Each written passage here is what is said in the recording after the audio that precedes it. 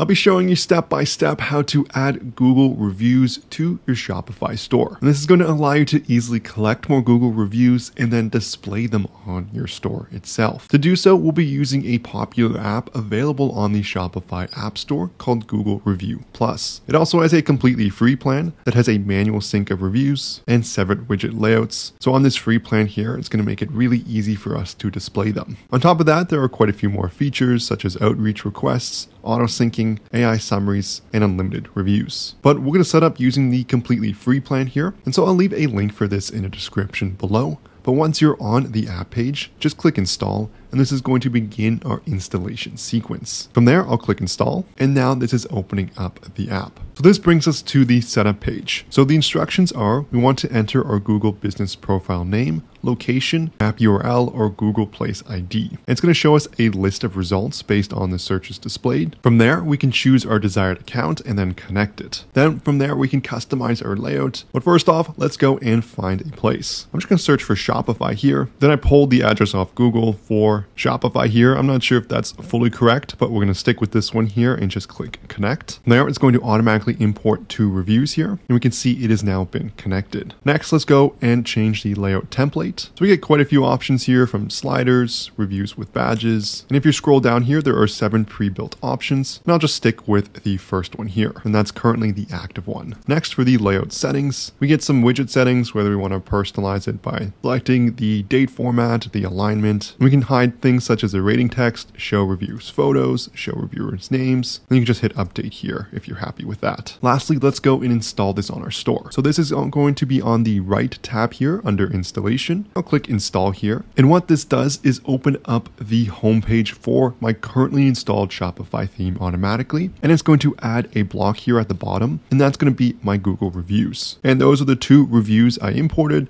and I went and hid the name and the photos, and it makes it super easy to add it to the homepage. I can hit save in the top right to finalize that. And I can also add this to any section of my Shopify store. If I head to my product template here, let's say I want to add it below. I could head under template, I want to go and add a new block. I want to go under apps this time, and I can see the Google Review Plus. And so I've now added that below my product information. I can even move this to a new section if I wanted to. Add new section. Let's say I wanted the Google Review Plus. So I've just added that there and I can see it's now showing up below my product information, exactly what I was looking to do. And it helps add some trust to my Shopify store now as I have verified Google reviews. If you've made any sales on Shopify, you know how hard it is to keep track of how much profit your store has actually made. You have your cost of goods sold, your transaction fees, your ad spend, your chargeback, and your taxes. It's a lot of things to keep track of, and that's where our sponsor Profit Calc comes in. It's a one click profit calculator available for your Shopify store. In one setup, all you have to do is select the date range you want to see calculations for, and you're going to get real time calculations all displayed in an easy to understand dashboard. You're going to see all your ad spend from Facebook, Google, Snapchat, Bing, Pinterest, and TikTok. It's going to integrate with quite a few cost of goods sold options, and it's going to allow you to make smarter business decisions as you have a true understanding understanding of your store's performance. There's a 15 day free trial so you can test drive everything for yourself. You can find it in the Shopify App Store